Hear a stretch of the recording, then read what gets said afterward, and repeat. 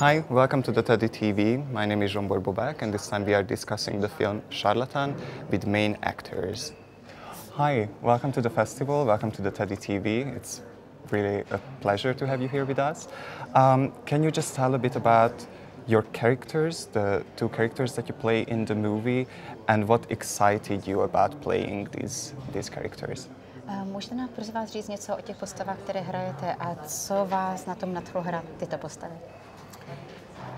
Tak eh, já, já si myslím, že tam eh, hraju Jana Mikoláška, přírodního léčitele, který uměl diagnostikovat zmočin a následně nasazovat bylinky nebo masti a pomáhat lidem. Léčil přes 5 milionů lidí před jeho ordinací. Stály dvoukilometrové fronty, čili je to velký fenomén a až něco neuvěřitelného. Určité sci-fi vlastně, ten jeho, ten jeho záběr. Zároveň je to velice eh, nejednoznačná postava, není to žádný kladný hrdina, má své i stinné stránky a ta postava je tak eh, nejednoznačná a spletitá, že bychom tady asi byli eh, třeba ještě další hodinu, ale vzhledem k tomu, že za chvilku nás čeká premiéra filmu, tak bude nejlepší, když se na ten film podíváte. Moja postava sa volá František Palko a je to chlapec, ktorý prichádza do príbehu ako človek, ktorý hľada prácu a nájde ju u Jana Mikoláška. A je to človek, ktorý mu pomáha e, v práci, ale aj v osobnom živote. A neskôr sa z nich stanú veľmi dobrí kamaráti a neskôr priatelia. Je to človek, ktorý v sebe nesie e, život, lásku k životu, nesie k sebe odvahu a, a je to človek, ktorý nesúdi ľudí, tak a hlavne toho Jana Mikoláška. Uh, možno zo začiatku uh, človek to vníma ako, ako človeka, ktorý prišiel len za prácu, aby si zarobil peniaze, ale neskôr sa dozvedáme, že tam je niečo viac a mali by ste si pozrieť tento film, keďže času máme málo pretože tá postava je tiež veľmi spletitá a prechádza rôznymi odmenami emocionálnymi, takže by sme tu boli veľmi dlho. So, so I'm, I'm playing, playing the character of Jan Mikulášek, uh, which uh, it, it was Jan Mikulášek, it was a healer who was able to make diagnosis uh, on basis of uh, urine samples. And then he prepared a mix or he prepared uh, creams uh, for the people so just to treat them. Uh, he treated about um, five million people. Uh, it's a huge amount uh, of people, and every day there were a two kilometers line in front of his house. Uh, so it was really as a phenomenon. Uh, you can say as a word speaking almost about something like science fiction. Uh, it's harder to believe that it was like that. But it was not only a positive character. Uh, there were a lot of things which are kind of shadows on his characters, mm-hmm. controversies. Um, but I would say because we could speak uh, really hours and hours about him, but yeah. uh, I'm sorry we don't have so much time because yeah. our premiere is starting in uh, one or two hours, and right. Uh, we have to prepare for the premiere. So I would like to say, please come to see our film. Mm-hmm. And me, I uh, play um, František. Uh, František it's a young guy he's coming uh, to Mikulášek because he's searching for a job. Uh, he needs money and he starts to work together with Mikulášek. He helped him not only uh, working but also in his, in his private life. And they become friends, and with the time, uh, they become lovers. Um, I would say that František is full of uh, love uh, to life. Uh, he is very strong. He has, he has really courage, and he judge. He doesn't judge people, mm. and he uh, doesn't judge Mikulášek.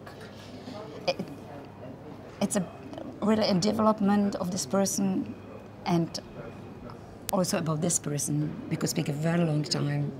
Yeah. But I yes. would recommend you. Yeah. It's better to see the yeah. film. Yeah.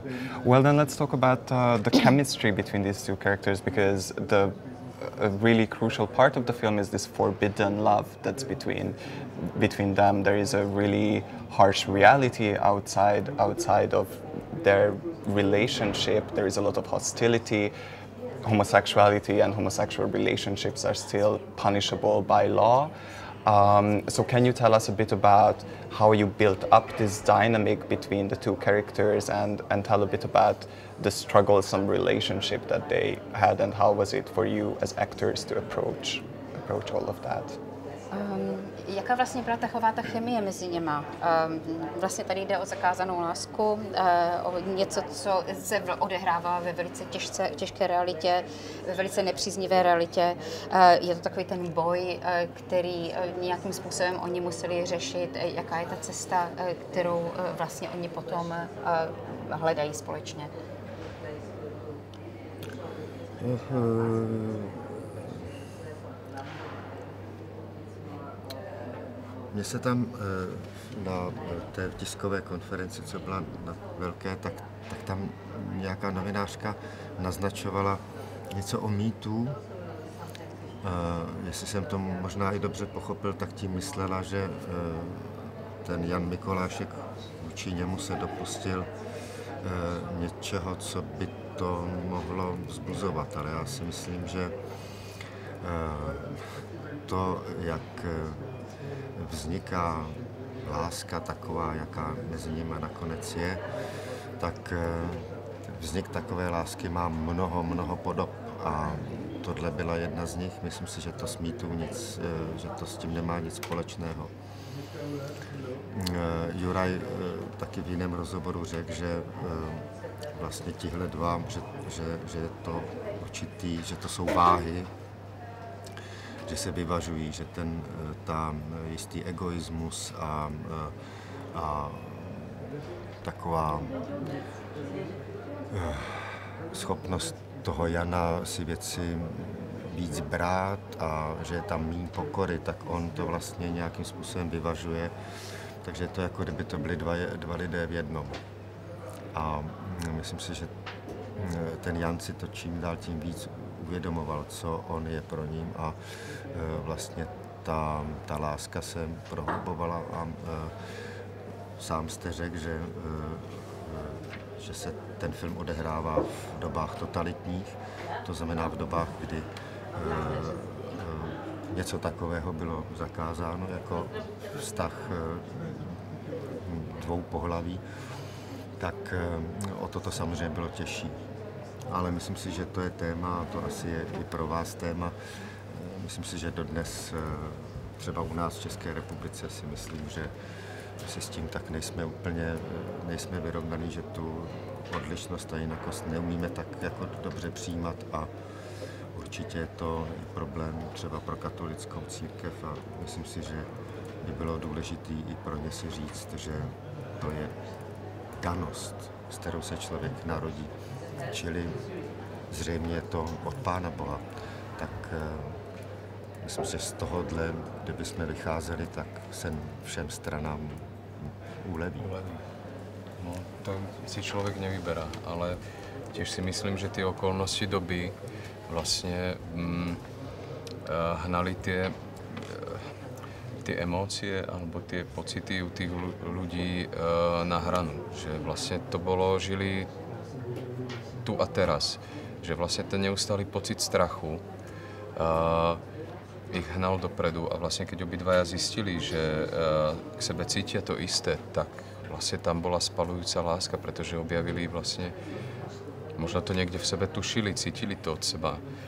Ta chémia tam fungovala a keď to vlastne uh, si to uvedomili, tak vlastne to bolo obrovská, možno niekde aj úlava, že našiel jeden druhého, alebo človeka, uh, ktorý vlastne pociťuje to isté ako on.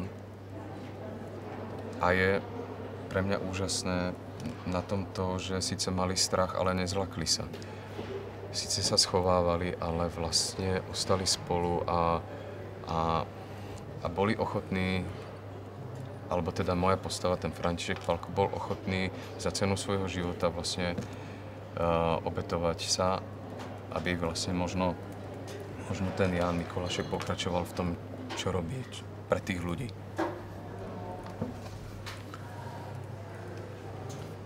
Už asi opravdu budeme muset jít. Yeah, can you translate Okay. please? that would be great. Um, uh, the, the answering to your question, um, uh, somebody asked us uh, if uh, the story has something to do with the Me Too uh, motion, and, I would say uh, no, it's different. Um, it's probably it was it's the character of Jan Mikolášek. Uh, always somebody thought in this way, uh, but uh, I see it completely different. Uh, I think uh, it's uh, the love which develops um, in the bows uh, and which is growing bigger and stronger.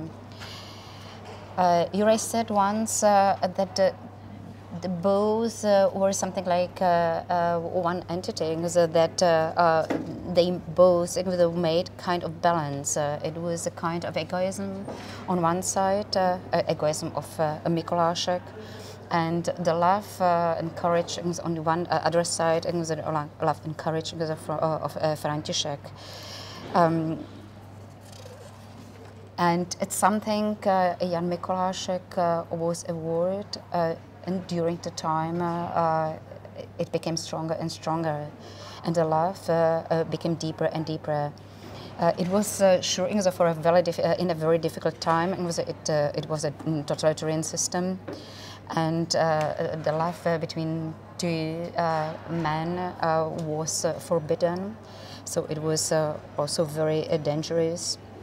And I would say even today, uh, in the Czech Republic, uh, it's uh, a very important theme.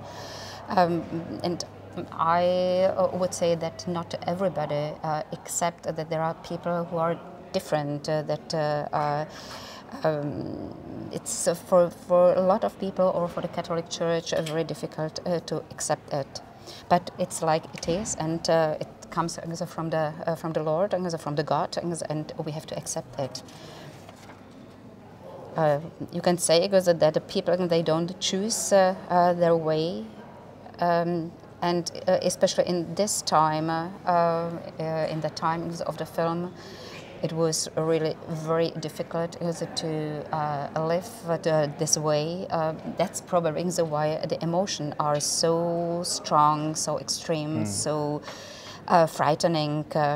Uh, why the people have the feeling we have to live just now in this moment.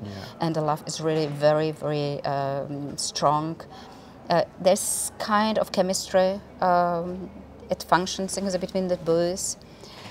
And uh, probably it was a, it's a moment of release uh, um, when the boys uh, uh, make a war that the other person then uh, feel the same way Yeah. they were afraid, uh, but uh, they did resist.